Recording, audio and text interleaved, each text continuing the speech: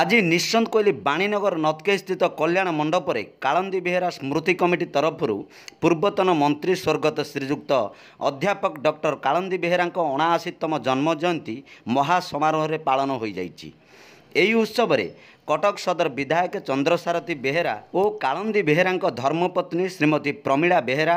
ପୁତୁରା ପାର୍ଥସାରଥୀ ବେହେରା ଓ ସମାଜସେବୀ ରମେଶ ଚନ୍ଦ୍ର ସ୍ୱାଇଁଙ୍କ ସମେତ ନିଶନ୍ତ କୋଇଲ ସାଲେପୁର ଓ କଟକ ସଦର ଅଞ୍ଚଳର ବହୁ କାଳନ୍ଦୀ ପ୍ରେମୀ ରାଜନୈତିକ ନେତୃମଣ୍ଡଳୀ ବୁଦ୍ଧିଜୀବୀ ଯୋଗଦେଇ ଶ୍ରୀଯୁକ୍ତ ବେହେରାଙ୍କ ଜୀବନଚର୍ଯ୍ୟା ସହିତ ତାଙ୍କ ନୀତି ଆଦର୍ଶ ଉପରେ ଆଲୋକପାତ କରିବା ସହ ସେ ଏକଧାରରେ ଜଣେ ସୁସାହିତ୍ୟିକ ଗାଳ୍ପିକ କବି ଶିକ୍ଷାବିତ୍ ଓ ଜଣେ ସଫଳ ରାଜନେତା ଭାବରେ ନିଜକୁ ପ୍ରତିପାଦିତ କରିପାରିଥିଲେ ବୋଲି ମତବ୍ୟକ୍ତ କରିଥିଲେ। ତାଙ୍କ ଉତ୍ତରାଧିକାରୀ ଭାବରେ ସୁପୁତ୍ର ବିଧାୟକ ଚନ୍ଦ୍ରସାରଥୀ ବେହେରା ଉପସ୍ଥିତ ସମସ୍ତ ଜନସାଧାରଣଙ୍କୁ ଜଣେ ଜଣେ କାଳନ୍ଦୀ ବେହେରାଙ୍କ ପୁତ୍ର ଭାବେ ବିବେଚନା କରିବା ସହ ତାଙ୍କ ମୃତ୍ୟୁ ଓ ଜନ୍ମବାର୍ଷିକକୁ ସେମାନେ ପାଳନ କରିବାର ଦାୟିତ୍ୱ ତାଙ୍କ ସହିତ ସମଭାଗରେ ନେବା ପାଇଁ ଆହ୍ୱାନ ଦେଇଥିଲେ। ନିଶନ୍ତ କୋଇଲରୁ ଜାନକୀ ବଲ୍ଲଭ ମହାନ୍ତିଙ୍କ ରିପୋର୍ଟ ମି ନ୍ୟୁଜ୍ ଓଡ଼ିଶା।